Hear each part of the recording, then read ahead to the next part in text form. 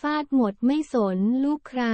แก้มบุ๋มปริยาดาออกมาเปิดใจกลางวงสื่อตอบดราม่าคนแซะจับผู้ชายรวย พร้อมถามกลับด้วยคำแรง เรียกได้ว่าช่วงนี้กระแสคู่รักแก้มบุ๋มปริยาดาและหวานใจอย่างหนุ่มพีทกันตะพรมาแรงจริง ๆหลังจากที่ฝ่ายชายคุกเข้าสวมแหวนขอฝ่ายหญิงแต่งงานไปเมื่อปลายปีที่แล้ว แต่พักหลังๆ ดูเหมือนทั้งคู่จะจอดรามาเข้ามาบ่อยๆ โดยเฉพาะฝ่ายแก้มบุ๋มที่เจอคนเข้ามาแซะในไลฟ์ขายของของเจ้าตัวว่า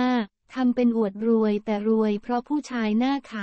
ำ ฉลาดจับผู้ชายรวยรวยจนเจ้าตัวได้ฟาดกลับกลางไลฟ์อยู่บ่อยๆ แก้มหมุมเปิดใจเจอแซะจับผู้ชายรวยพร้อมฟาดไม่ยัง้ง ล่าสุดทางด้านแก้มหมุมปริยาด้าได้ควงพีทกันตะพรออกมางานอีเวนต์คู่กัน พร้อมเปิดใจกับสื่อมวลชนถึงประเด็นดราม่าเจอแซะจับผู้ชายรวย โดยได้เผยว่า ทุกครั้งที่เราไลฟ์จะมีคนเข้ามาแซะว่าเราจับผู้ชายรวย แก้มบุ๋มแล้วเขามีปัญญาไหมหนูแต่งตัวธรรมดานะ แต่หนูดูมีปัญญาพี่พีทโอเคไหมคะ หันไปถามพีทที่ยืนอยู่ข้างๆ จะเอาหนูหรือเอาเขาดีค่ะ ทำไมเราชอบโดนอะไรแบบนี้ในไลฟ์สดของเรา แก้มหมุม เขาเรียกว่ามีสีสันให้หนูมีไวรัสแต่เราชนะทุกรอบ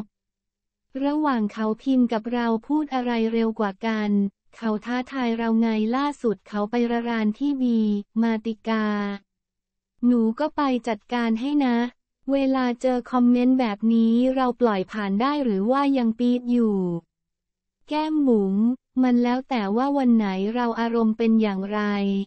วันไหนอารมณ์ไม่จอยก็บล็อกรำคาญ บางคนก็เข้ามาแบบวันนี้พี่ตดหรือยัง เราก็เลยบอกว่าถ้ายังพูดแบบนี้อีกที่บล็อกแล้วนะอ้าวเงียบ แสดงว่าเขาอยากคุยเล่นเฉยๆเข้าใจได้